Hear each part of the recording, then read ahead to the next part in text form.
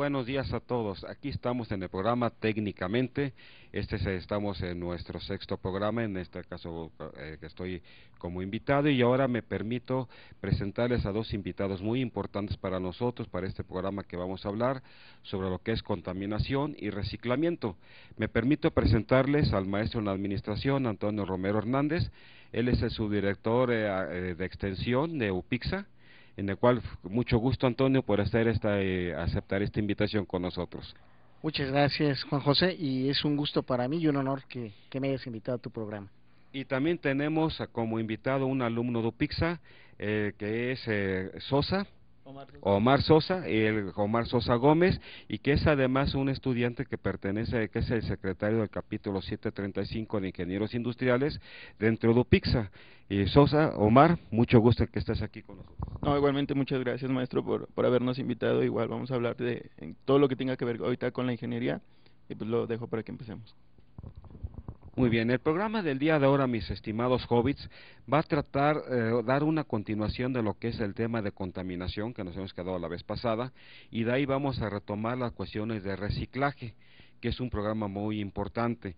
En el caso del maestro Antonio Romero, él es eh, licenciado en Ciencias de la Informática y tiene la maestría en Administración dentro de UPIXA, y él como informático le voy a estar haciendo una pregunta importante.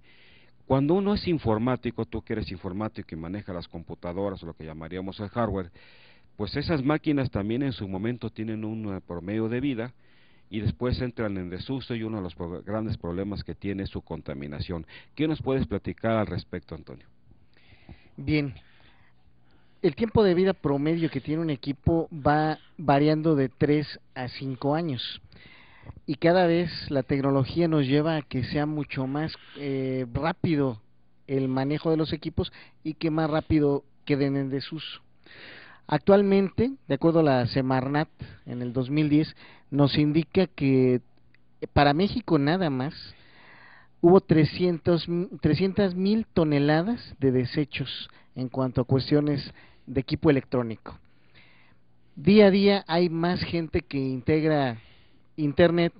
Actualmente, el último censo mundial que data del 2011 nos habla que había 37.6 millones de personas en Internet y usuarios de telefonía celular 95.4 millones. Esto hace que la cuestión de tecnología eh, se dé cada vez de manera más amplia el uso de los dispositivos y se genere más basura de este tipo.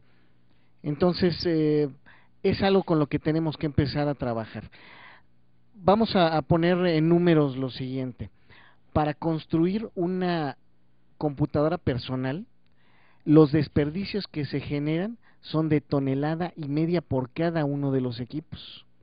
En el caso de equipos como las laptops, se genera un desperdicio de 400 kilogramos por cada uno de los equipos y adicionalmente por teléfono celular son 75 kilogramos de desperdicios electrónicos que se tienen por cada uno de ellos. La última estimación es que a nivel mundial 50 mil millones de toneladas se tienen de desperdicio por equipo electrónico, Juan José. Es una cantidad muy importante.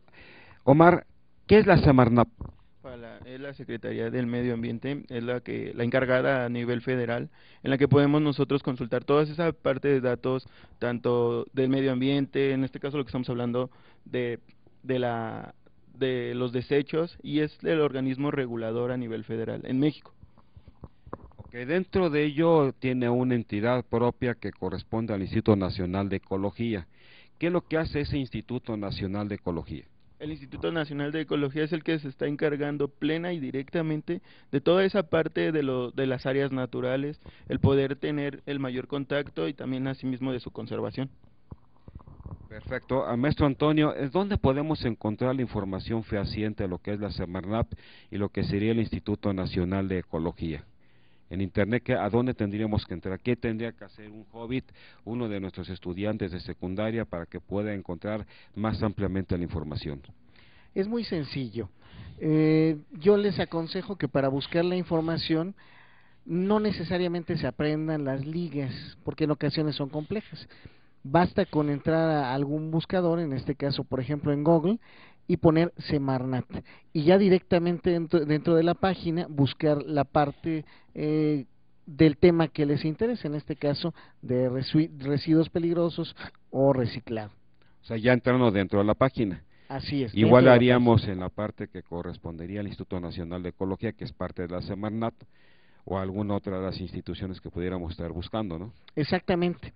La mayoría de las páginas cuentan con un área de búsqueda donde se puede poner el tema de interés.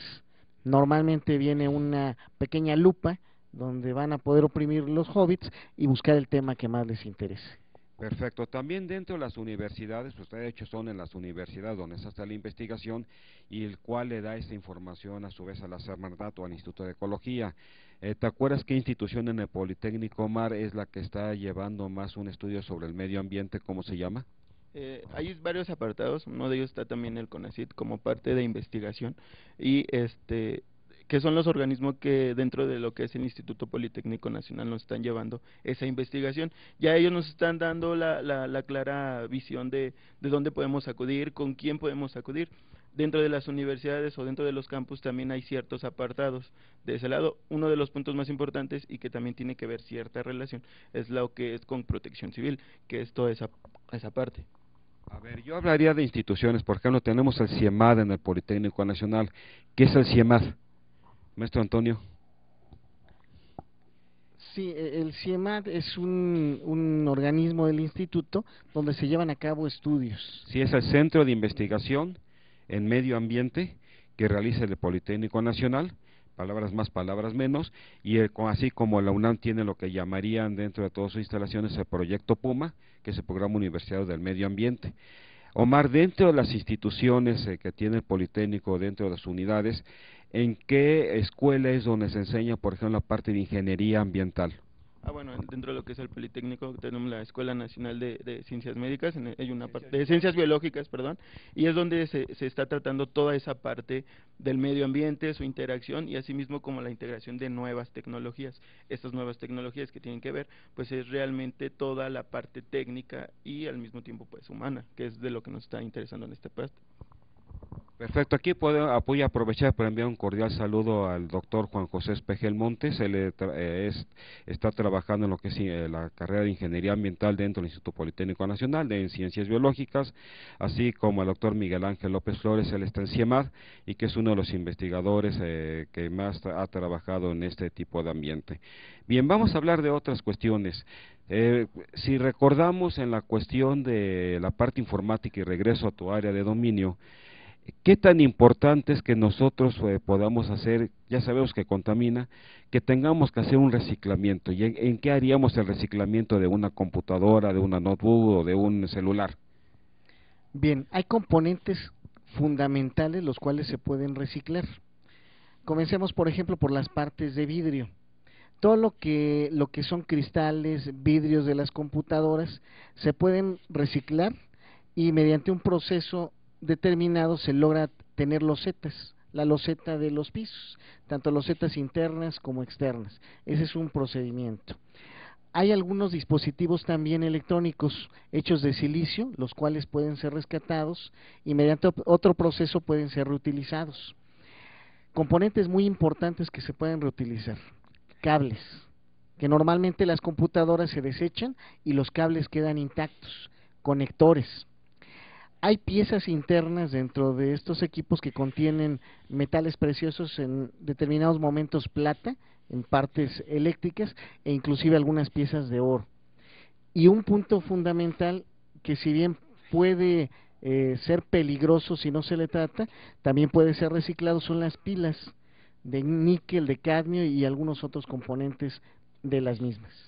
Correcto. Omar, ¿te acuerdas más o menos cuánto es lo que generamos cada mexicano como desperdicio a nivel de toda la República Mexicana, según información que da INEGI? Bueno, de acuerdo en estas estadísticas, estadísticas tenemos que alrededor de un kilo, 900 gramos eh, se producen diario por persona, que si lo multiplicamos por alrededor de estos 120 millones de, de habitantes, pues imaginemos cuánto es lo que se está generando este, pues diariamente. Eh, algo que comentaba el maestro este Antonio, que también dentro de esa parte de reciclaje hay que tener en cuenta también dónde se van a poner. No nada más es de tirar en, en, los lugares que comúnmente nosotros tenemos este, en nuestros hogares, solo cuando pasan los camiones recolectores. También hay cierto tipo de, de vertederos para electrónicos o para esos distintos tipos. Sí, INEGI me marca para el año 2010, en, cuando hace su revisión que hace cada cinco años en nuestro país cuando va cada uno de los censos económicos y que pasa cada domicilio, una de sus atribuciones es tomar cierto tipo de datos. Eh, oficialmente te marcan 800 gramos por persona y esto hablo desde un bebé hasta un adulto, entonces pasamos por mucha por todo esto, por eso hablamos que México está generando unos 102 millones de toneladas, eh, bueno, de kilos, perdón, por día, simplemente lo que estamos produciendo nosotros. Y de ese porcentaje, pues no todo, vamos, se utiliza o se llevaría un vertedero limpio, el cual estaría confinado y que tendría toda la protección. Un dato importante es a veces la clasificación, cómo se clasifican los residuos sólidos. Y voy, estoy hablando únicamente de la parte que hablaríamos en general de lo que son los hogares o lo que sería tal vez un restaurante y demás donde estaremos generando cierto tipo de porcentaje de, de productos de residuos. Yo, se habla en, tres tipos de residuos, lo que sería susceptibles de aprovechamiento, que sería el 35, el 39% de casi todo lo que se desecha. Ahí hablo del cartón, el papel, el material ferroso, el material no ferroso, eh, lo que sería el plástico rápido o de película, los envases de cartón, lo que sería la fibra sintética, lo que sería el poliestireno, lo que sería el hule, las latas, el vidrio de color que tú estás mencionando. Hay otra parte importante que corresponde a los orgánicos, es más o menos el 37%. Eso compete, por ejemplo, mucho en hogares y restaurantes, que sería todos los desechos de alimenticios, eso ocupa casi el 25%. La, la fibra dura, lo que corresponde a los desperdicios de jardinería, que ocupa también un porcentaje importante, casi el 10%, y después de esas partes susceptibles de aprovechamiento orgánicos, viene una siguiente etapa que llaman el otros, el 22%, y ese otros conforma lo que es el algodón, el trapo, o sea, el desperdicio de ropa, la losa y cerámica que se tira, los materiales de construcción, eh, lo que es el pañal desechable, y pañal desechable, pues, tanto hablo de adultos como hablo de los bebés, pues es un 6%, nada despreciable, ¿no? Y es ahí donde tenemos que tratar de buscar este qué, qué está ocurriendo con todo esto. Una parte importante, Omar, usualmente, y bueno, regreso un poco a contaminación, porque está ligado con reciclaje, hay eh, efectos o hay ciertos tipos de gases que nos están causando un efecto invernadero. En principio, ¿qué es el efecto invernadero? Eh, el efecto invernadero es toda es la acción a, nivel del medio ambiente y que se genera directamente a la atmósfera, creando un efecto térmico. Este efecto térmico que, que trata en general es la acumulación de ciertos gases que no dejan salir ni siquiera al exterior, pero al mismo tiempo todos esos gases retienen la entrada y salida de lo que es los rayos solares. Los rayos solares y también asimismo afectan a, la planta, a las plantas en cuanto al proceso de fotosíntesis, el cual no lleva a un proceso de purificación del aire, no completo. Entonces, son varios factores que puedan afectar en este caso y que pues también afectan en la contaminación, no solo del medio ambiente, sino también que afecta a las personas que más que nada evita que haya, vamos a poner, si hay calentamientos que se está quedando, es tanto como si tú te estás poniendo una ropa gruesa, y por lo tanto no hay ventilación y se está quedando el calor, ¿no? Y cada vez que se está generando calor, pues a su vez está teniendo un efecto sobre la vida cotidiana que estamos teniendo. Un efecto de ellos, eh, maestro Antonio, estarás de acuerdo en que, por ejemplo, es el, el, descongelamiento de lo que son los hielos en los casquetes eh, polares. En la parte de tierra firme, eso se está deshielando y entonces tenemos un problema. ¿Qué problema tendremos ahí cuando hay un deshielo de lo que serían los casquetes eh, polares, de lo que sería la Antártica y el Ártico? En el caso del deshielo ya es de hecho un problema. Hay una parte que son las nieves eternas y que se están deshielando.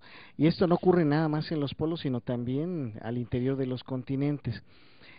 El nivel del mar tiende a subir. Y, y el hecho de que suba el nivel del mar, hablamos por ejemplo de un centímetro o dos, al parecer nos daría la imagen por de año que o por muy, día, muy ¿cómo está? No, ocurre en, en periodos largos. Sin embargo, eh, se calcula, por ejemplo, que durante los próximos 20 años el deshielo puede originar exactamente eh, el que pueda subir dos centímetros el nivel del mar. Y este cambio climático tan fuerte podría implicar que algunas eh, poblaciones costeras pudieran desaparecer. Este cambio climático ah, también origina eh, que los efectos de lluvias, monzones, eh, el efecto del niño y la niña, que son situaciones climáticas, sean cada vez eh, más complejos. Las estaciones del año ya no son tan exactas y los periodos de sequía o de lluvia son prolongados y mucho más complejos y mucho más fuertes. Aquí vamos a hablar de algunos datos como que queda no queda claro. A ver, ustedes se acuerdan que llevaron en física y lo que es la que es densidad, de algunas cuestiones de, de ese tipo en sus clases de, física y también un poquito con la cuestión de química. Si ustedes ponen, por ejemplo, un hielo en un vaso que esté lleno y le ponen un hielo, o sea, derrama llega al tope, y ustedes lo deshielan, ahí pues está, se está ahora sí descongelando ese hielo, pero no está subiendo el nivel del agua, porque al final de cuentas es agua, ahí no hay problema. El nivel del mar no sería afectado porque se están deshielando los icebergs. Ahí no pasa nada porque sigue siendo agua, pero cambia, eh, cambia su estado físico. Pero donde sí tenemos el problema es lo que sería el agua que está congelada, en lo que sería tierra firme, tanto en el Ártico como en la Antártica o bien dentro de nuestros eh, los continentes y que entonces sí se deshiela, entonces agua pues sí se va yendo al mar y entonces como está diciendo ahora sí que agua fresca está aumentando el nivel del mar. Sí, es un concepto físico. Hagan ustedes su experimento ahí en su casa o en la escuela, pongan un vaso, lo llenen con agua, le ponen hielo, lo ponen al tope y esperen que descongele. Ahí hagan la apuesta que se va a derramar el agua, pues no, no se va a derramar la van a observar de esa manera. Ahora, ¿cuáles son los tres elementos o tres componentes o tres compuestos que causan más el efecto invernadero? Maestro Antonio. Bueno, yo, yo te podría nombrar uno, Juan José, que son los gases de efecto invernadero. ¿Que serían como cuáles? Eh, de hecho, dentro de la clasificación se tienen eh, lo que es el... Um, el más importante el dióxido de carbono. El dióxido de, carbono, sí, casi el 50% del efecto invernadero es debido al dióxido, al dióxido de carbono, CO2, recuerden su fórmula en química. Otro dos de los gases, Sosa. Otro podría ser también lo que es el metano. El metano es una del que se desprende la mayor parte de la basura, o sea, es el que el principal factor que, que lo está generando. Sí, ahí acuérdense que el metano cuya composición química sería cuál? CH4, un átomo de carbono, 4 de hidrógeno, y viene por la descomposición de los elementos orgánicos principalmente. Entonces, por ejemplo, cuando se deshiela en tierra firme, entonces, ¿qué está pasando? Pues a su vez, o, queda la parte orgánica, lo que era la tierra que había sido cubierta de nieve o hielo, ahora desaparece y en todos los componentes orgánicos que ahí estaban se descomponen y desprenden a su vez más metano. Ese metano casi es el 30% de, de su aportación sobre efecto invernadero. Entonces, o sea, se calienta, se pone peor la cosa y cada vez está peor, peor la situación, ¿no? Y un tercer componente llamaríamos los óxidos nitrosos. ¿El óxido nitroso qué es su fórmula? No, no me...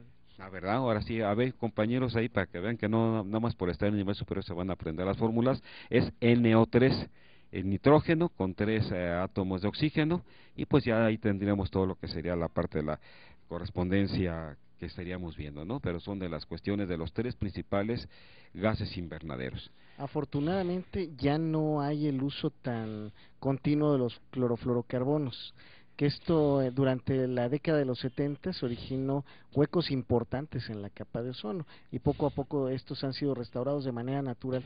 Sí, ¿Quién fue el descubridor mexicano que fue después premio Nobel mexicano que precisamente trabajó contra la cuestión de los... Eh, de los elementos que, los encontramos en los refrigeradores, ¿no? que era la forma que podían utilizar para poder enfriar y utilizaban ese compuesto. ¿Quién fue el y que fue premio no, que es premio Nobel mexicano todavía está vivo? Egresado de la UNAM, que se llama Mario Molina. Mario Molina, exactamente, Mario Molina, mexicano, fue el que en sus momentos por ahí de los 70, 1970 había hecho esos estudios él se fue a Estados Unidos a poder continuar su doctorado. Yo me acuerdo muy bien porque había, yo había, era estudiante de la Facultad de Química en esa época y oí unas primeras pláticas y en aquella época decíamos, pues, está como medio loco, ¿no? Está muy así como que, el, que los elementos de los refrigeradores están causando un problema de calentamiento, ¿no? Y pues, bueno, pasa la historia y le dan toda la razón, por eso les premio Nobel y eso es una de las partes más importantes ¿sí? ¿Alguna otra cosa más, Antonio, que podamos Tenías comentar? tú una clasificación muy interesante acerca de, de elementos posibles de reciclar, pero algo que, que me interesaría que nos platicaras, Juan José, es eh, de la recolección. Creo que la recolección, sobre todo en una ciudad como la Ciudad de México, es muy compleja. Entonces, valdría la pena que nos platicaras algo de eso. Son todos los residuos sólidos, hablamos de 102 millones de toneladas, solamente se da un tratamiento o recolección de, de apenas 86 millones. Hay varios estados en la República Mexicana que sí realmente hacen un trabajo real para poder eh, hacer la recolección de la basura, llevarla a confinamientos controlados o darle un tratamiento en la pepena. México tiene, eh, entrando en la parte histórica, un aspecto cultural muy fuerte en la parte de lo que se llama la pepena. La pepena que es desde el señor que recolecta la basura que va de casa en casa o el barrendero, que es como lo llamamos comúnmente, y que él ya tiende de por sí a separar la basura y después comercializarla. Estamos hablando de papel periódico, estamos hablando después de los el vidrio, de las botellas de vidrio, las cervezas, eh, todo eso que viene ahí en vidrio, de lo que corresponde a los plásticos, el Tetrapac, y él lo hace. Después, quien tenemos como fuertes eh, gente que hacen pepena en los camiones recolectores de basura, dense vuelta ustedes, eh, hobbits, en fin de semana, y denle un seguimiento por unas dos, tres horas a un camión recolector de basura. Y van a ver cómo los trabajadores de, esos camiones en la Ciudad de México hacen una pepena, separan la basura. Recuerden que a nosotros nos piden separen la, la, de por sí la basura orgánica de toda la demás basura y de esa toda la demás basura pues ya hacen ellos una pepena y van seleccionando el cual es, ellos a su vez pues realmente lo comercializan. Realmente a los tiraderos de la Ciudad de México que son confinamientos donde van a llevar a través de todo esto pues van llevando su basura y de ahí van haciendo una separación importante que también se convierte en una parte de negocio. Hay gente que vive de la basura no gana mal, por ejemplo, en los camiones de basura es capaz una persona a la semana de ganarse unos 2.500 pesos a la semana si bien le va, algunos ganarán tal vez menos, pero sí es un buen dinero que se puede estar ganando. ¿Tú alguna vez has visto un camión recolector de basura y qué están haciendo, cómo trabajan ellos? Sí, e inclusive es también ver la, parte, cómo nosotros como sociedad estamos dando ese seguimiento. Eh, cabe destacar que aquí en la Ciudad de México pues también se han implementado medidas en el que pueden ser desde que los días en los que pueden recolectar lo que son eh, orgánicos, otro día puede ser inorgánico. Y esos camiones realmente son los que, que tenemos que tenerle mayor énfasis también ver y nosotros como sociedad, pues sí, eh, motivarlos a que realmente cumplan lo, el, el fin o el, o el lugar donde lo vayan a depositar en este caso. Sí, de hecho, contestando un poco la pregunta del maestro Antonio sobre los tipos de basura que hay, el 25% de toda la basura que se genera en las, en las ciudades principalmente es orgánico, o sea, lo que son residuos alimenticios generados tanto en nuestras casas como lo que es generado en restaurantes o lo que son los mercados públicos en el cual el alimento que no sirve pues se va y se retira. Entonces ahí es donde se hace ese tipo de recolección. También una cuestión importante es el efecto invernadero, que hay una pregunta latente que por aquí nos estuvieron enviado, aunque no tenemos el chat abierto, si hay una pregunta que nos llegó. ¿Qué países están generando más efecto invernadero? Por ejemplo, México genera aproximadamente, me parece, unas 400 mil toneladas por día de, de, de materiales como CO2, metano y demás pero por ejemplo, 10 veces más que nosotros, a veces uno dice, bueno, pues los países industrializados deben tener una mejor cultura y deben ser más cuidadosos en lo que hacen con respecto al medio ambiente, y no. La sorpresa es que, por ejemplo, China te genera sobre 5 millones y Estados Unidos otro tanto igual. Y si yo veo Japón o la Federación Rusa, bueno, lo que ahorita es Rusia, pues también generan cantidades impresionantes de lo que corresponde a contaminantes que nos están generando efecto invernadero. México, a pesar de todo y que no utilicemos toda la tecnología, sí estamos impactando, pero en un porcentaje a la décima parte de un país como China, un país como Estados Unidos, ¿no? que uno diría, ay, no es cierto, México debe estar contaminando mucho más, y no es cierto. Brasil, como anda? Anda casi como México, un poquito menos, y otros países de América Latina menos. Pero una cuestión importante, los países industrializados son los que están generando más efecto invernadero y son ellos los que realmente deberían estar cuidando mucho más la, la cuestión sobre deben de estar este cómo deben estar trabajando realmente sus empresas y eso habla de lo que es un cambio en su tecnología que deben de estar utilizando por ejemplo en nuestro país hay una cultura muy importante para evitar contaminación y para poder tener un reciclaje. Por ejemplo, una parte de contaminación es cuando hacemos un uso excesivo de la energía eléctrica en las casas. Pero, por ejemplo, algo importante, no sé si lo sepan, pero el 53% de los focos en nuestras casas, en general, están utilizando focos ahorradores de energía. El 53%, y es una cantidad muy importante. ¿Qué otros mecanismos tendríamos para poder evitar nosotros lo que corresponde a, a, desperdicios, o sea, por un lado evitaríamos contaminación y por otro lado evitaríamos este que tener tanta generación de basura, Omar. Eh, también eh, podemos entrar ya en, materia diciendo lo de las tres R's, que es reusa, recicla. Y, y entonces, en este caso, pues vamos a tener toda esa parte de poder tener o un, un, un menor número de este tipo de contaminantes. Eh, si lo vemos también las cosas más naturales, las que vienen sin tantos conservadores, que implica que el, el poder tener un menor uso de estas, estas bolsas que tardan eh, alrededor de, de, más de mil años en, biodegradarse. Aún así, con todo y esto de las nuevas tecnologías en cuanto a las bolsas de plástico, en el que son todavía eh, biodegradables en un menor tiempo, pero pues también tiene que tener una, cultura de reciclaje o de, de un uso menor de este tipo de cuestiones. Vamos a ver una cuestión importante. ¿Cuáles son en México, en nuestro país, las ciudades o los estados que mejor hacen un tratamiento sobre la, lo que serían los residuos, los residuos sólidos? Estamos hablando de seis estados. Quintana Roo, que desde su momento fue constituido para que sea sustentable la cuestión de que no estemos tirando basura como todo tipo. Nayarit, el Distrito Federal, Chihuahua, Aguascalientes y Colima. Son los que mejor están trabajando para que no tengamos eh, residuos sólidos a cielo abierto o que tengamos eh, tiraderos clandestinos. ¿Y en cuáles nos faltaría trabajar? ¿Y en cuáles? Puebla, que es el, peor de todos los estados. Voy a ir de abajo para arriba lo que sería Guerrero, Baja California Sur, el Estado de México, y el Estado de México, por ejemplo, apenas está arriba del 55% de eh, recolección de basura para poner en confinamientos controlados, y Durango, o sea, estamos hablando de los cinco peores estados que tendríamos. Ahora, los cinco mejores, los seis que primero que estuve mencionando, son los que tienen el 100% de su basura controlada. Ahí para el Real, o sea, todos los demás estados, no tienen un control tan adecuado sobre la, parte de su consumo de basura. Y aquí sí quisiera hacer un énfasis, una paréntesis.